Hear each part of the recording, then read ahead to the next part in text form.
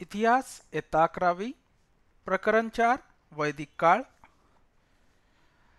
हडप्पा संस्कृतीच्या नाशाला बाहेरून आलेले लोक कारणीभूत होते असे मानले जायचे परंतु अनेक वर्षाच्या शास्त्रीय संशोधनानंतर हडप्पा संस्कृतीच्या नाशाला कोणी बाहेरून आलेले लोक विशेषतः आर्य हे कारणीभूत नसून नैसर्गिक आपत्ती आणि पर्यावरणाचा ऱ्हास यासारख्या गोष्टी अधिक जबाबदार होत्या हे स्पष्ट झाले. आहे. वैदिक काळाचे म्हणजेच वैदिक कालखंडाचे जे आहे पूर्व वैदिक कालखंड ज्याला ऋग्वेदिक कालखंड असेही संबोधले जाते आणि उत्तर वैदिक कालखंड अशा दोन कालखंडामध्ये विभागणी केली जाते. नमस्कार मी देव बिरादर आपल्या सर्वांचं यूट्यूबच्या चॅनलमध्ये हार्दिक स्वागत करतो. स्पर्धा परीक्षांची तयारी करणाऱ्या सर्व विद्यार्थ्यांच्या दृष्टीने वैदिक काळ हा धडा अतिशय महत्त्वाचा आहे. आणि मी शालेय पाठ्यपुस्तकाच्या बाहेर जाऊन तुम्ही या वैदिक कालखंडाशी संबंधित म्हणजेच त्याच्यातील समाजव्यवस्था वैदिक वाङ्मय जसे की चार वेद ब्राह्मणे आरण्यके उपनिषदे यांच्याबद्दलची माहिती मी पाठ्यपुस्तकाच्या बाहेर जाऊन तुम्हाला मी सांगेन. जेणेकरून तुम्हाला स्पर्धात्मक परीक्षांमध्ये या स वैदिक काळाशी संबंधित आलेले प्रश्न सोडवण्यास मदत होईल. आर्य. आता आपण प्राचीन भारताचा इतिहास कालक्रमानुसार या व्हिडिओमध्ये देखील आर्य कोण होते याच्याबद्दलचा थोडासा संक्षिप्त आढावा घेतलेला आहे. आर्य हे भारतामध्ये इसवी सन पूर्व दोन हजार ते पंधराशेच्या कालखंडात आले असावे असे सर्वमान्य झाले आहे. हे आर्य जेव्हा भारतात आले होते तेव्हा त्या आर्यांनी गंगा सिंधू काठच्या सुपीक भागात राहून एक वेगळी संस्कृती निर्माण केली होती. तिला आर्य संस्कृती किंवा वैदिक संस्कृती असे म्हटले जाते. आर्यांचे मूळ वस्तीस्थान व त्यांचे भारतात स्थलांतर यावरती विविध सिद्धांत म्हणजेच मते मांडली जातात. ज्याच्यामध्ये महत्त्वाची म्हणजे Max Muller Lokmanya Tilak Swami Dayanand Saraswati doctor Avinash Chandradas यांनी मांडलेली काही विधाने महत्त्वाची मानली जातात. आर्यांचे नेमके मूळ व हे मूळ कोणते व त्यांचे वस्तिस्थान कोणते यावरती इतिहासकारांचे एकमत नाही. परंतु लोकमान्य टिळकांनी वेद साहित्याचा अभ्यास करून त्यांच्या आर्किटिक्स हो ऑफ दी वेदाज या ग्रंथात आर्य उत्तर ध्रुवाच्या आर्किटिक्स प्रदेशात राहत असावेत आणि त्यातील काही लोक युरोपकडे आणि काही भारतात आले असावेत असे एक असा सिद्धांत त्यांनी मांडला होता. आणि अलीकडे करण्यात आलेल्या सर्वेक्षण आणि नवीन पुरावे यांच्यानुसार हा लोकमान्य टिळकांचा सिद्धांत जो आहे तो सर्वमान्य होण्यासारखा आहे. या आर्यांनी नी जे आहे भारतीय संस्कृती दिलेली सर्वात मोठी देण म्हणजे वैदिक वे साहित्य किंवा वेद वाङ्मय हे होय. त्याचप्रमाणे आपण प्राचीन भारताचा इतिहास कालक्रमानुसार या व्हिडिओमध्ये देखील हे देखील पाहिलं होतं की बोगजाई शिलालेखाच्या पुराव्याच्या आधारानुसार हे बोगजाई म्हणजे सिलिसिया आशिया मायनर इथे हे प्रांत येते या पुराव्यानुसार आर्यांच्या भारतात आगमनाचा कालखंड हा इसवी सन पूर्व दोन हजार पाचशे ते पंधराशेच्या दरम्यान असावा असे मानले जाते. आणि मागे म्हटल्याप्रमाणे आर्यांचे भारतीय संस्कृतीत दिलेले महत्त्वाचे योगदान म्हणजे वेद वाङ्मय हे होय. वेदांना श्रुती असेही म्हटले जाते. कारण ऋषीमुनी द्वारे ऋषीमुनींच्या मुखाद्वारे ते सांगितले जायचे आणि ऋषीमुनींद्वारे मुखाद्वारे अध्ययन करून ते पुढील पिढीस ते सांगितले जात असत. आणि या वेदांना जे आहे वेदवाङ्मयांना जे आहे नित्य म्हणजे न संपणारे अपरोषय म्हणजे दैवी रचना पुरुषीय रचना नसलेले म्हणजे दैवी रचना असलेले असे संबोधले जाते. या वैदिक वाङ्मय हे आर्यांचे अतिप्राचीन वाङ्मय मानले जाते आणि या वैदिक आणि आर्यांच्या वैदिक संस्कृतीची गणना जी आहे जगातील प्राचीन व महात्तम संस्कृतीशी केली जाते. त्याचबरोबर वैदिक साहित्याचा भारतीय जीवनशैली व जनमाननावर आपल्याला आजही प्रभाव आढळतो. वैदिक साहित्य हे जगातील सर्वश्रेष्ठ व चिरकालीन साहित्यापैकी एक मानले जाते. या वैदिक मांगवयाचे जे आहे ते तीन भाग पडतात संहिता ज्या गद्यपद्य स्वरूपात असतात ज्याच्यामध्ये मंत्र प्रार्थना आणि यज्ञविधीचा समावेश होतो ब्राह्मणे बहुतांश गद्य स्वरूपात त्यात ऋचांचा अर्थ दिला आहे. ऋचा म्हणजे स्तुती एखाद्याची स्तुती करण्यासाठी रचलेले पद्य हे होय. आरण्यके व उपनिषदे वेदकालीन ऋषी मुनींचे तत्वज्ञान आत्मा देव जग प्राणीमात्र या संबंधीच्या संकल्पना ज्या आहेत यामध्ये स्पष्ट केलेल्या आहेत.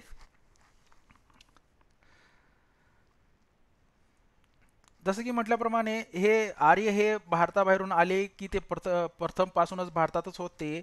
त्यांच्या संस्कृतीचे पुरातत्वीय अवशेष कोणत्या प्रदेशात सापडतात आणि ते कसे ओळखायचे अशा अनेक प्रश्नांची निश्चित उत्तरे अजूनही मिळालेली नाही आहेत त्यांच्या संस्कृतीची माहिती त्यांनी रचलेल्या वैदिक वाङ्मयातून मिळते. हे वाङ्मय जे आहेत मूलतः वैदिक जनसमूह समूहांच्या देवताविषयक श्रद्धा आणि त्या देवतांची त्यांनी केलेली स्तवने अशा स्वरूपाचे आहेत. वैदिक लोकांच्या भौतिक जीवनाबद्दल काही उल्लेख ओ ओघाओघाने या वाङ्मयात येतात. तसेच त्यांच्या दे देव इंद्र याने शत्रूवर मिळवलेल्या विजयांचे संदर्भ त्यामध्ये दिलेले आढळतात. वैदिक संस्कृतीच्या काळाबद्दल वेगवेगळी मते आहेत. तथापि इसवी सन पूर्व दोन हजार माफ करा इसवी सन पूर्व पंधराशेच्या सुमारास वैदिक लोकांनी ऋग्वेदाची रचना केली असे मानले जाते. आणि ऋग्वेदांची रचना जी आहे पूर्ववैदिक कालखंड ज्यास ऋग्वेदिक कालखंड म्हटले जाते या कालखंडामध्ये केली जा गेली. आणि इतर वाङ्मय जसे की सामवेद अथर्ववेद यजुर्ववेद ब्राह्मणे अरण्यके उपनिषदे यांची जी आहे ती रचना जी आहे उत्तर वैदिक कालखंडामध्ये केली गेली. याबद्दल सर्वसाधारण एकमत आढळते. लोकमान्य टिळकांनी ग्रहतारांच्या स्थिती गतीच्या आधारे हा काळ इसवी सनापूर्वी सहा हजार वर्ष इतका प्राचीन असल्याचे गणित मांडले. तसेच आर्यांचे मूळ स्थान उत्तर ध्रुवीय प्रदेशात होते असे मत त्यांनी मांडले. वाद विवादाच्या या वाटेवरचा प्रवास इसवी सनाच्या सोळाव्या शतकात सुरू झाला. तोपर्यंत आर्य या संकल्पनेचा उगम झालेला नव्हता. सोळाव्या शतकात जे आहे पाश्चात्य म्हणजे पश्चिमेकडे पश्चिमेकडील देशांमध्ये असलेले अभ्यासक पाश पाश्चात्य अभ्यासकांचे लक्ष संस्कृत आणि लॅटिन ग्रीक या भाषांमध्ये असलेल्या साम्य स्थळांकडे वेधले गेले. म्हणजे सिमिलॅरिटी जे आहे त्याच्याकडे त्यांचे लक्ष वेधले गे गेले. आणि त्यातूनच जे आहे इंडो युरोपियन भाषागट ही संकल्पना उदयाला आणि आली आणि त्या भाषांची जननी त्यांना म्हणता येईल. बाराव्या शतकातील युरोपीय अभ्यासकांच्या वर्तुळात विविध भाषांच्या संदर्भात एखादा भाषा गट आणि त्या गटातील भाषेची एक जननी भाषा अशी संकल्पना जी आहे ग्रहीत धरून त्यासंबंधीची चाचपाणी करण्यास सुरुवात झाली होती. जसे की आपण संस्कृतला जे आहे ते आपल्या सर्व भाषांची जननी वगैरे मानतो त्याचप्रमाणे ते पाश्चात्य देशामध्ये जे आहेत तर असा एक विशिष्ट गष्ट असून त्याच्याशी जे त्याच्याबद्दलची जी आहे संकल्पना ती धरून ते कार्य करत असत. असे असले तरी संस्कृत आणि लॅटिन या भाषांमध्ये काही प्रत्यक्ष दुवा असू शकतो. या कल्पनेने मूळ धरण्यास इसवी सनाचे अठरावे शतक जे आहे ते उजाडले. या कल्पनेचा नेमका उगम केव्हा झाला असावा याचा मागोवा घेताना सोळाव्या शतकाकडे लक्ष वेधले जाते. इसवी सन पंधराशे त्र्याऐंशीमध्ये फिलिपो सासेटी नावाचा एक इटालियन व्यापारी केरळमधील कोची म्हणजेच कोचीन येथे आला त्यानंतर तो मायदेशी कधीच परतला नाही. तो भारतामध्ये कोची आणि गोवा येथे राहिला. भारतातील वास्तव्यात त्याने त्याच्या घरच्या घरच्या लोकांना लिहिलेल्या सविस्तर पत्रांमध्ये त्यांनी भारतातील जीव जीवनमान भाषा आणि संस्कृती याच्या यांचे तपशिलावार वर्णन केले. म्हणजे त्यांनी जे आपल्या घरी पत्र लिहायचं त्याच्यामध्ये भारतातील जीवनमान भाषा आणि संस्कृती याबद्दलची त्यांनी माहिती लिहिली होती. अशा रीतीने जे आहे भारतीय समाजाचे सूक्ष्म निरीक्षण करून त्याचे वर्णन करणारा हा महत्त्वाचा मुद्दा आहे. तो पहिला पहिला युरोपीय होता.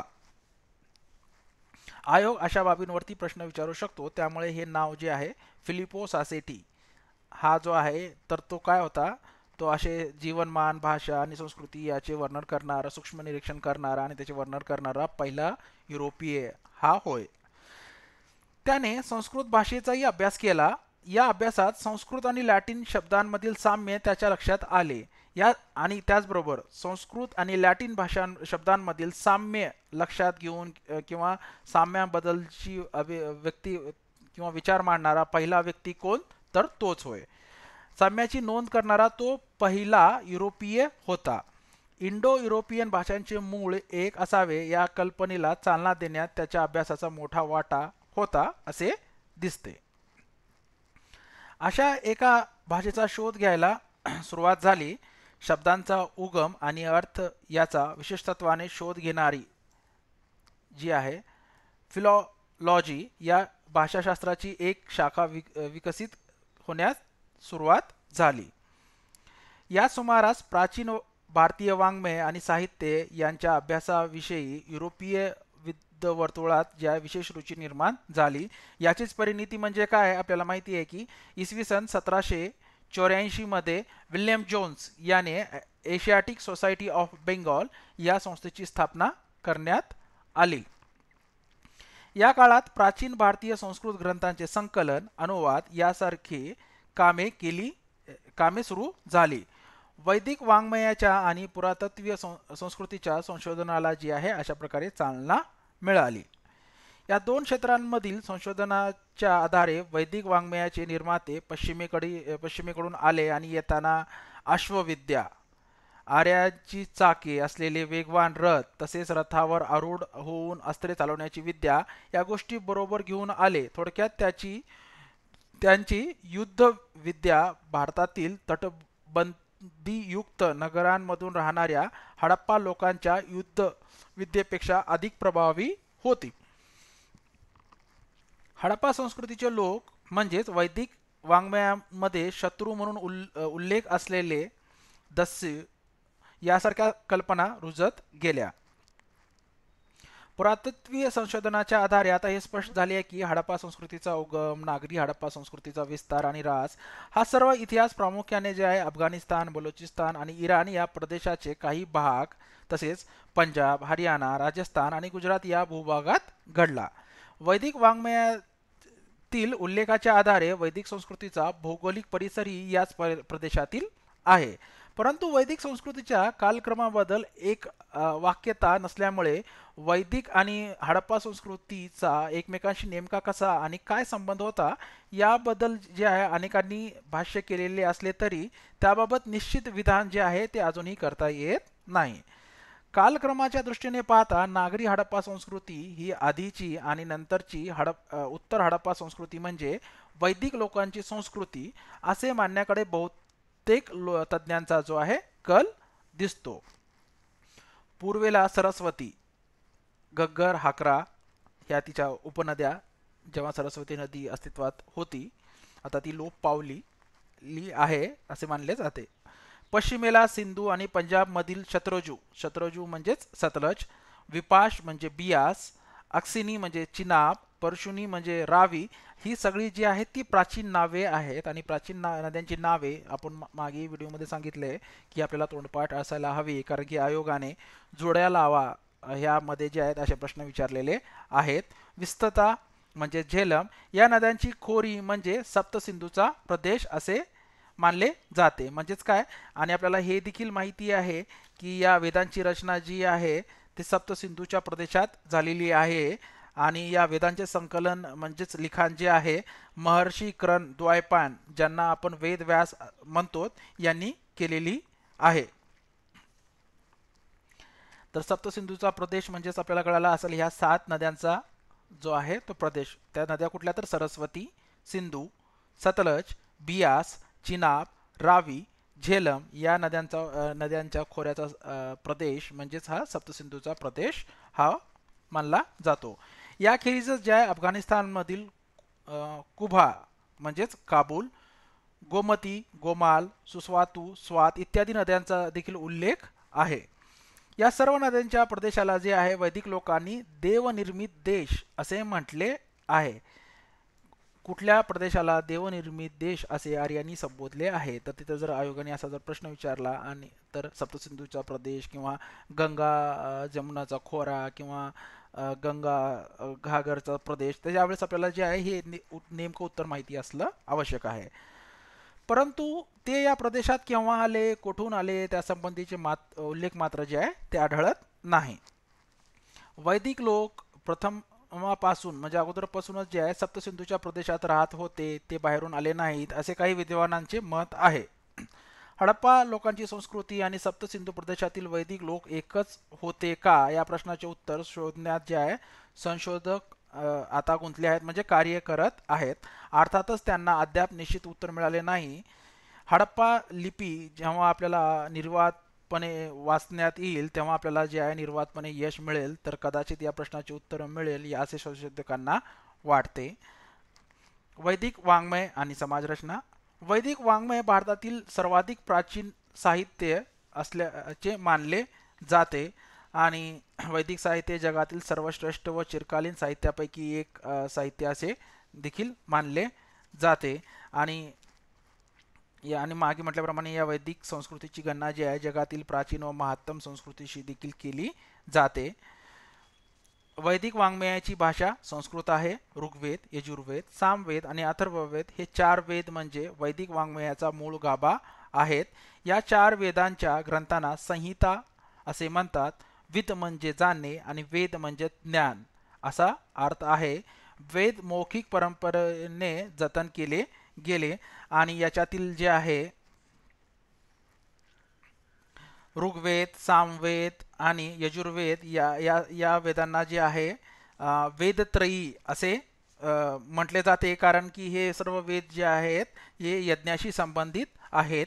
तर अथर्ववेदामध्ये जे आहे लौकिक म्हणजे सामाजिक विषयांशी शी संबंधित आहे.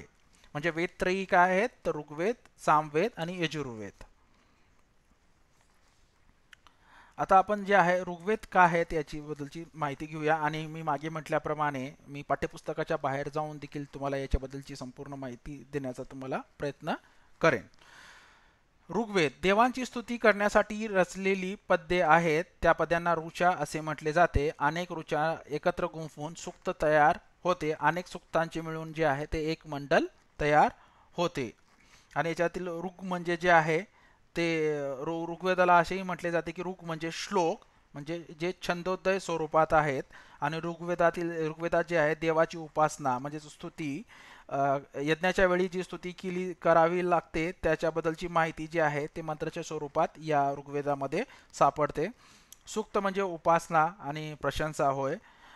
यज्ञाच्या वेळी देवतांची उपासना व आव्हान म्हणजेच मंत्राचे उच्चारण जे करतात त्या मुख्य पुर पुरोहितास जे आहे होता असे म्हटले जाते. आणि ऋग्वेद यजुर्वेद अथर्ववेद सामवेद अरण्यके ब्राह्मणे उपनिषेदे उपनिषदे याबद्दलची सविस्तर माहिती जी आहे ते आपण वैदिक वाङ्मय वैदिक साहित्य किंवा वैदिक लिटरेचर या आपल्या लिस्टमध्ये देखील आपण जे आहे याबद्दलची सविस्तर माहिती घेतलेली आहे. आणि त्या व्हिडिओची लिंक देखील मी डिस्क्रिप्शनमध्ये दिल देतो. आणि सविस्तर माहितीसाठी तुम्ही या व्हिडिओच्या पश्चात तिथे जाऊन तुम्ही सविस्तर माहिती घेऊ शकता.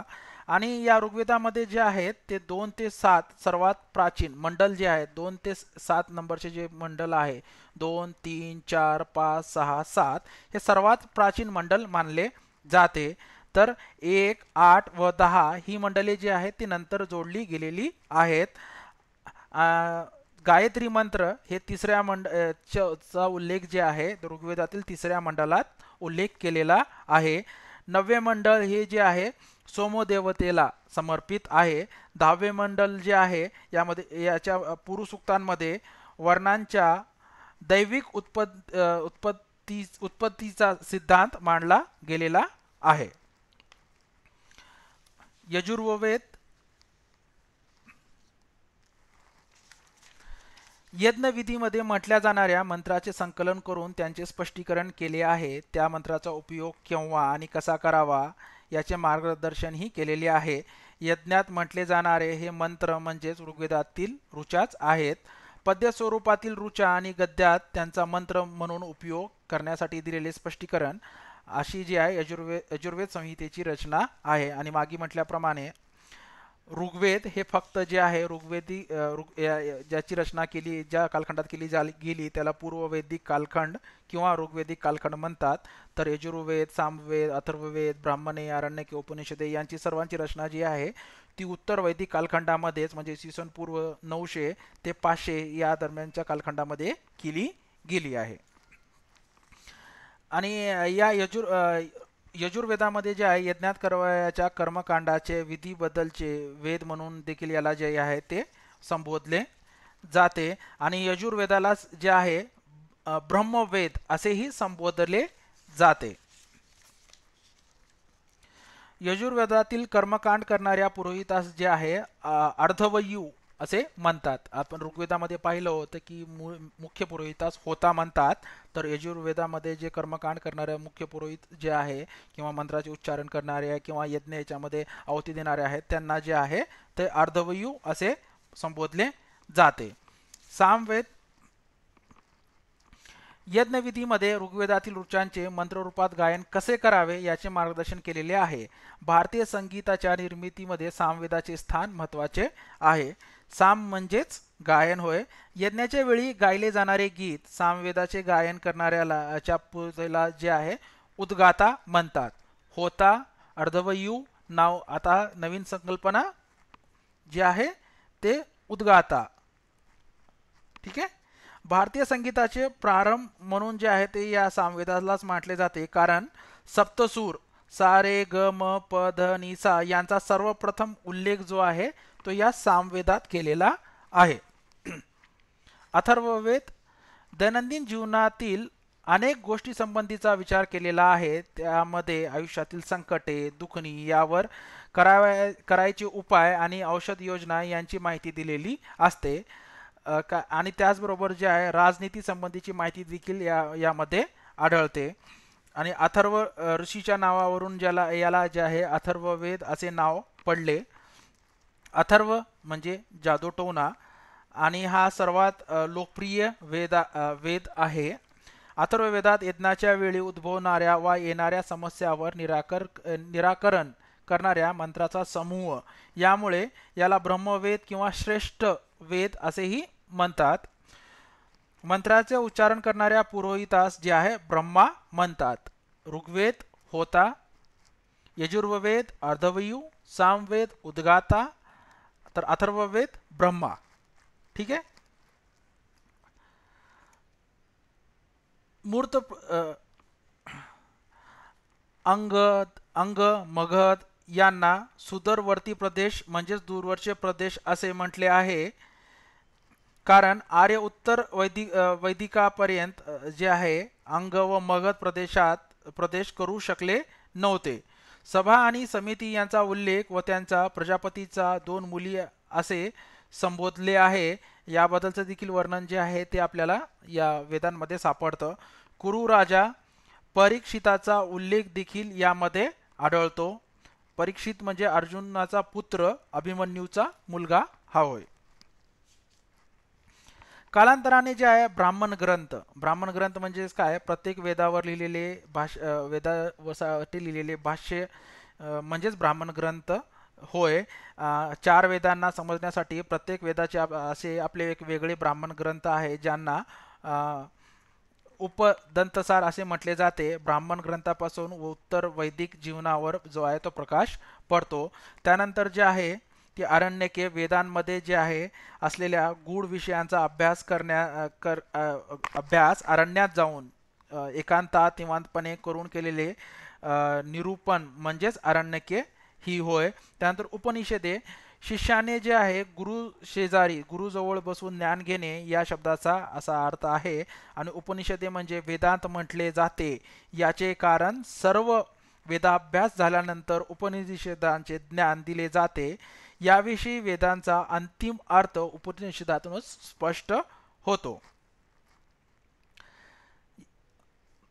या या ब्राह्मण ग्रंथ अरण्यके उपनिषदे यांचाही समावेश जे आहे वेदमांगमयात होतो. वेदमांगमयाची निर्मिती दीर्घकाळ सुरू होती. ती पूर्ण होण्यास सुमारे पंधराशे वर्षाचा अवधी लागला असावा. वेदकालीन लोक जीवनाचा अभ्यास करण्यासाठी वेद वाङ्मय हे महत्त्वाचे साधन आहेत. वेद काळातील समाज रचना कुटुंब व्यवस्था दैनंदिन जीवन यांची माहिती यातून आपल्याला मिळते.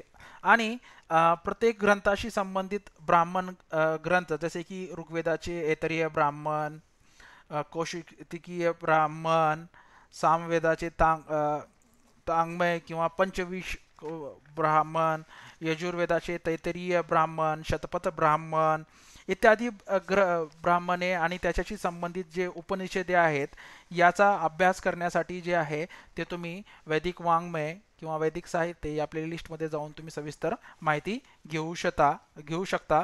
उपवेद आणि वेदांग यांना जे आहे ते वेदोत्तर साहित्य असे देखील संबोधले जाते. आणि आपल्याला असे की माहिती आहे की चारही वेदाशी संबंधित नसलेली सुमारे जवळपास एकशे आठ जी आहेत ती उपनिषदे आहेत. उपनिषदांमध्ये अखिल विश्व निर्मितीचे सिद्धांत सांगण्यात किंवा मांडण्यात आलेले आहेत. मुघल राजपूत दारा शुको हा जो आहे संस्कृत उपनिषदाचा जो आहे तो मोठा चाहता होता.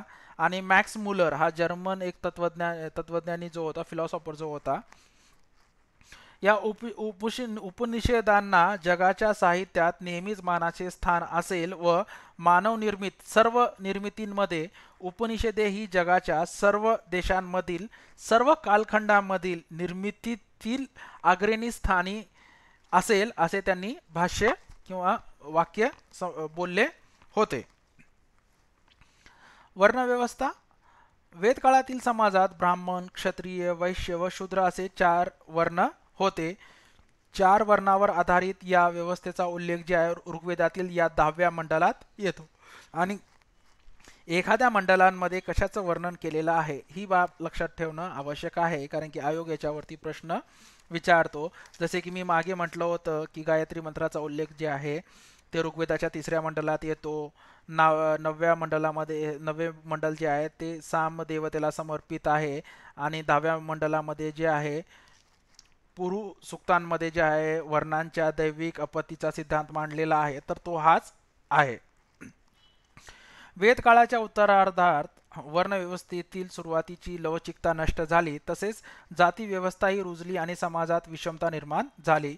वर्ण आणि जात हे सुरुवातीला व्यवसायावरून ठरत असत नंतर जे आहे ते जन्मावरून ठरू लागली. त्यामुळे या त्यामध्ये बदल करता येणे अशक्य झाले. आश्रम व्यवस्था. मानवी आयुष्याचे चार टप्पे मानून त्यानुसार व्यक्तीने आपले जीवन कसे व्यतीत करावे म्हणजे कसे जगावे याचा आदर्श वैदिक लोकांनी जे आहे चालू घालून दिला होता. त्यानुसार पहिला टप्पा म्हणजे ब्रह्म ब्रह्मचर्याश्रम. दुसरा टप्पा म्हणजे ग्रस्ताश्रम. तिसरा टप्पा म्हणजे वानप्रस्थाश्रम. चौथा टप्पा म्हणजे संन्याश्रम. अशी त्यांनी जी आहे विभागणी केली होती. ब्रह्मचर्याश्रमात व्रतस्थ वृत्तीने राहून ज्ञान आणि जे आहे व्यवसायासाठी लागणारे कौश कौशल्य म्हणजे ज्ञान संपादन करावे आणि ग्रहस्थाश्रमात पत्नीच्या सहकार्याने ग्रहस्थाश्रम पार पाडावा असे अपेक्षित होते. वानप्रस्थाश्रमामध्ये जे आहे ग्रहस्थाश्रमाच्या कर्तव्यातून निवृत्त होऊन आवश्यकता भासल्यास मुलाबाळांना मार्गदर्शन करावे आणि ईश्वर चिंतनात वेळ घालावा असे सर्वसाधारण संकल्पना होती. वानप्रस्थाश्रमामध्ये म्हणजे वन मनुष्य वनस्पतीपासून दूर राहावे. म्हणजेच जंगलात जाऊन राहावे. मनुष्य वस्तीपासून दूर राहावे असे सांगितले होते. संन्यास संन्यासाश्रम या शेवटच्या टप्प्यात मात्र व्यक्तीने सर्व माया पाशांचा त्याग करून दूर निघून जावे. दीर्घकाळ एके ठिकाणी वस्ती करू नये असे निर्बंध घातलेले होते. वैदिक वाङ्मयातून उलगडणार उलगडणारी पूर्व वैदिक काळातील संस्कृती. ऋग्वेदकालीन संस्कृती ही पूर्व वैदिक काळातील संस्कृती होय. सप्तसिंधू प्रदेशात राहणाऱ्या वैदिक लोकांच्या जनसमूहा जनसमूहाच्या नावाचा उल्लेख जे आहे ऋग्वेदात आढळतो. पुरु अनु यदु ध्रुव ध्रुवश यासारख्या जनसमूहांची नावे त्यात आढळतात. ही हे जनसमूह शेती करणारे होते. ऋग्वेदामध्ये परशुनी म्हणजेच रावी नदीच्या तीरावर वैदिक जनसमूहामध्ये झालेल्या युद्धाचा उल्लेख आहे. दहा जनसमूहांच्या प्रमुखांमध्ये झालेले युद्ध म्हणून याला दाक्षरात युद्ध असे म्हटले जाते किंवा त्याला ten battle battles of battle of ten kings असे देखील संबोधले जाते. आणि याच्याबद्दलची आणखी माहिती सांगायची झाली तर भारतातील प्राचीन व अभिजात वाङ्मयांमध्ये रामायण आणि महाभारत या महाकाव्यासारखेच किंवा या महान ग्रंथाप्रमाणेच आणखी एक वाङ्मय म्हणजे ज्यात दाक्षरात यज्ञाचे वर्णन केलेले आहे ते वाङ्मय देखील मांडले जाते. हे युद्ध जे आहे रामायण पूर्व काळात झाले म्हणजे सत्ययुगात झाले असे म्हणतात. या दाक्षरात युद्धाचा उल्लेख ऋग्वेदाच्या सातव्या मंडळात आढळतो. पुरुष समुदायाने भारत आणि पार्शियामधील काही समुदायाशी युती केली आणि त्याचे गुरु ऋषी विश्वामित्र हे होते. भरत राजा सुदास हे देखील पूर्ववंशातीलच हे एक राजा होते. त्यांचे गुरु वशिष्ठ ऋषी हे होते. या त्यामुळे याला जे आहे विश्वामित्र गुरु गुरु विश्वामित्र आणि वशिष्ठ ऋषी यांच्यामधील देखील युद्ध असे काही ठिकाणी जे आहे ते संबोधले जाते. त्यामुळे या युद्धाला वशिष्ठ व विश्वामित्र ऋषीमधील युद्ध असे देखील संबोधले जाते. या दोन महान ऋषीच्या मार्गदर्शनाखाली हे युद्ध परशुनी म्हणजेच सध्याची रावी नदीच्या किनाऱ्यावर परशु झाले आणि यात वशिष्ठ यांनी ऋषी यांच्या मार्गदर्शना मार्गदर्शन केलेल्या भरत राजा सुदास यांचा विजय झाला. दशराज युद्ध किंवा याला भरत युद्ध हे विविध अभ्यासकांच्या मतानुसार इसवी सणापूर्वी जे आहे एकोणीसशे चोवीस इसवी सन पूर्व दोन हजार चारशे एकोणपन्नास किंवा इसवी सणापूर्वी तीन हजार एकशे सदोतीसमध्ये झाले असावे जे असे जे विविध इतिहासकार म्हणतात. सप्तसिंधू प्रदेशात ऋग्वेद ऋग्वेद काळात वैदिक लोकांच्या जनसमूहाबरोबर काही स्थानिक जनसमूहांचे वास्तव्य होते. यांचा उल्लेख जे आहे दास किंवा दस्यू आणि पनी असा केलेला आहे. पनी हे वैदिक लोकांना त्यांचे शत्रू वाटत असत. ते वैदिक लोकांच्या गायी पळवून नेत असत. याबद्दलचं देखील एक जे आहे हे विधान महत्वाचं आहे. ऋग्वेदातील जनसमूहाच्या स्थिर गाव वसाहतींच्या संकुलास आणि त्यामधील लोकांसाठी कृष्ट्य अशी संज्ञा वापरत असत. कृष म्हणजे नांग नागरट आणि नागरट करणाऱ्या शेतकऱ्याचा जनसमूह व आणि त्यांच्या गाव वसाहती म्हणजे कृष्ट हे होय ऋग्वेदाच्या दहाव्या मंडलात शेतीचे महत्त्व जाणून घेणे महत्त्वाचे आहे असे स्पष्ट सांगितले आहे. आणि मागे म्हटल्याप्रमाणे कुठल्या मंडळामध्ये कशाबद्दलचे वर्णन केलेले आहे ही बाब जाणून घेणे अतिशय महत्त्वाचे आहे. नांगराचा फाळ नागरट करणाऱ्या शेतकऱ्याला अन्न मिळवून देतो असे म्हटलेले आहे. अश्विन आणि इंद्र या देवतांचा शेतीशी संबंध आहे.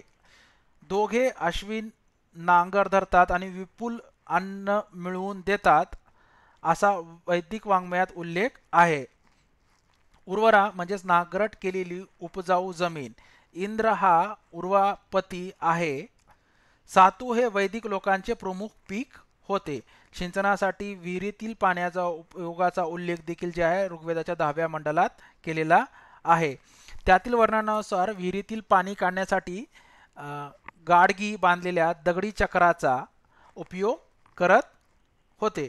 दगडाच्या चाकावरील गाडग्यांचे पट्टे घट्ट कसण्याचा उल्लेख आहे. ऋग्वेदामध्ये जे आहे वरुणाच्या एक हजार दारे असलेल्या राजवाड्याचे उल्लेख आहेत. हे वर्णन रूपक कवीचा कल्पनाविलास या स्वरूपाचे आहेत. तशा स्वरूपाच्या ऋग्वेदकालीन स्थापत्याचे पुरातत्वीय अवशेष उपलब्ध अजून तरी झालेले नाही आहेत आणि उत्तर हडप्पा संस्कृतीचे लोक म्हणजेच वैदिक लोक असा एक मतप्रवाह आहे. त्यानुसार उत्तर हडप्पा संस्कृतीच्या लोकांना प्रतिकूल हवाना हवामानामुळे आणि नैसर्गिक आपत्तीमुळे स्थलांतर करावे लागले. ते भारतात पूर्वेकडे गंगा यमुनीच्या दुआबाद म्हणजे प्रदेशात आणि आणि भारताबाहेर पश्चिमेकडे इराण इराक आणि इजिप्त अशा देशांमध्ये पोचले असे मानले जाते. याच्याबद्दलचं वर्णन देखील जे आहे लोकमान्य टिळकांनी केलं त्यांच्या सिद्धांतात केलं होतं.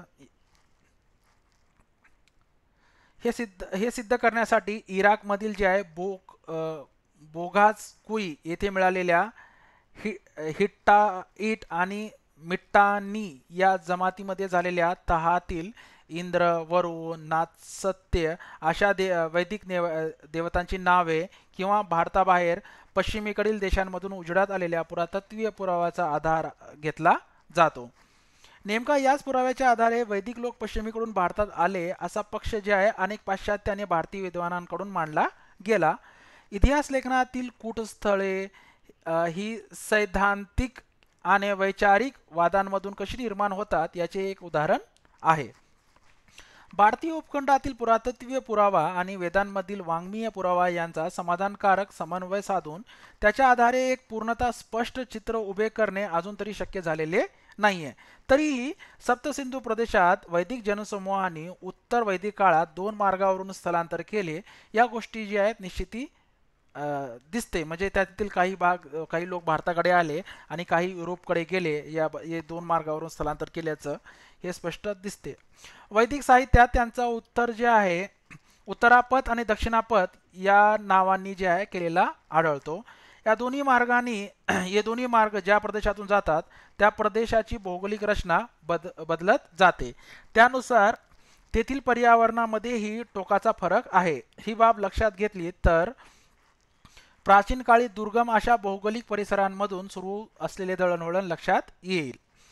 उत्तरापथा उत् उत्तरापथाचा विस्तार जे आहे मध्य आशिया सप्तसिंधूचा प्रदेश व पूर्वेकडील हिमालयाच्या पायथ्याचा प्रदेश तेथून गंगा यमुनाचा दुवा म्हणजे प्रदेश आणि तेथून गंगेच्या मुखाकडील प्रदेश असा आहे. तर दक्षिणापथ गंगा यमुनेचा दुवाब आणि दक्षिणेकडील प्रदेश जोडणारा होता.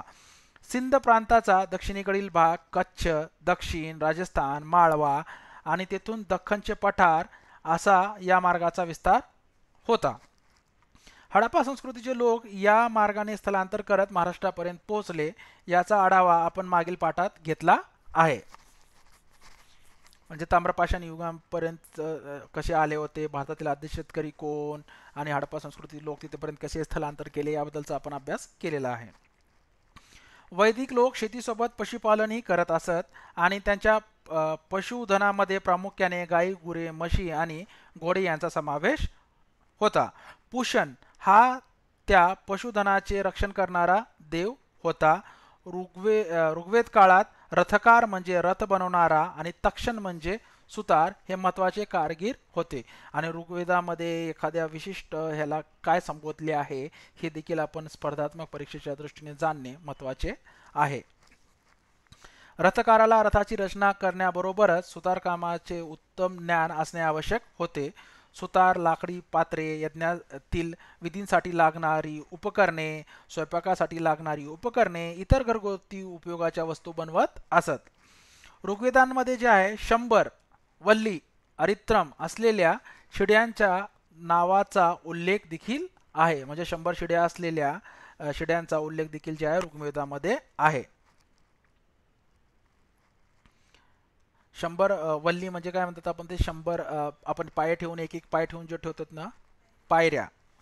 या सर्व गोष्टीवरून वेदकाळातील सुताराच्या कौशल्याची कल्पना येते. ऋग्वेदात कुंभार कुंभकारासाठी काही संज्ञा वापरात असल्याचे दिसून दिसत नाही परंतु उखा म्हणजे स्वयंपाकासाठी वापरायचे भांडे तसेच पात्र कुंभ कलश यासारखे शब्द वापरलेले दिसतात. कुंभकाराचा एक कारागीर म्हणून चा उल्लेख प्रथम जे आहे यजुर्वेदामध्ये येतो. त्यासाठी त्याला त्यासाठी कुलाल ही संज्ञा वापरलेली आहे. म्हणजे कुंभकाराचा प्रथम उल्लेख प्रथमतः यजुर्वेदामध्ये येतो आणि त्याला वापरलेली संज्ञा म्हणजेच कुलाल ही होय. वय्य म्हणजे विणकर. आणि वय्या हे त्याचे स्त्रीलिंगी रूप ऋग्वेदामध्ये आढळते. त्याखेरीज वस्त्र उद्योगाचा निर्देश करणारे तंतुम म्हणजे ताना ओतुम बाना विणकाराची कांडी तत्सर असे इतर काही शब्दही ऋग्वेदामध्ये येतात. ऋग्वेदामध्ये लोकरी उरणा म्हणजेच लोकर वस्त्राचा उल्लेख आहे. मात्र सुती आणि रेशमी वस्त्राचा नाही. हे एक महत्त्वाचा मुद्दा आहे. ऋग्वेदामध्ये लोकरीचा वस्त्राचा उल्लेख आहे. परंतु सुती किंवा रेशमी वस्त्राचा उल्लेख मात्र नाही आहे